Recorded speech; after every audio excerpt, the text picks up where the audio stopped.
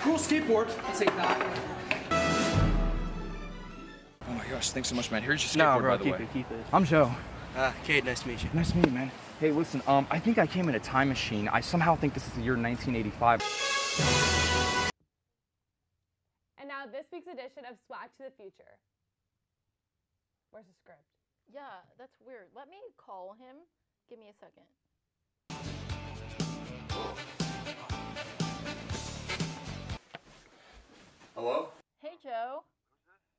Um, it's it's me, Sue and Gina. Um, we're live right now, and your script is not finished. No, you Uh, didn't. No, it's. And by the way, where are you? Um, Joe. Joe, Joe, hello. It's 8:45. School starts like right now. Shoots and ladders. I'm late for school.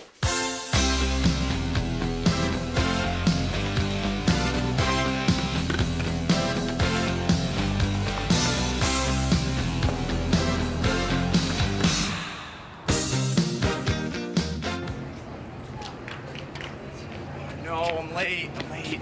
Okay, hold on, I got this. Okay, guys, I'm here to film the show. Don't worry. Hey, Swagger, where's my hundred bucks? What? Oh my gosh, you're you're uh you're Biff. Yeah, I remember you. You're you're the, the Biff guy, but No. you don't look like him though. I'm not Biff. I'm Biff's grandson, Jiff. And where's my hundred bucks, huh? What? What? No. Where's my money? Okay. Where's my money? Whatever. I'm gonna go film now, guys. I'm gonna go do the script. You better give me my money. Mhm. I swear, you better. Yep. Okay, guys, good job today. It was great. what are you watching? It's you. What? It's you. Whoa, this is heavy.